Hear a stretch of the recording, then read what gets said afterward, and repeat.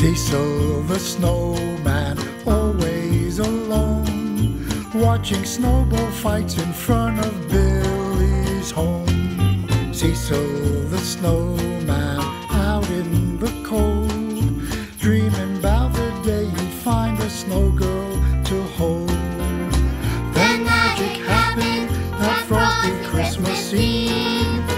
Kids built a snow girl so real that you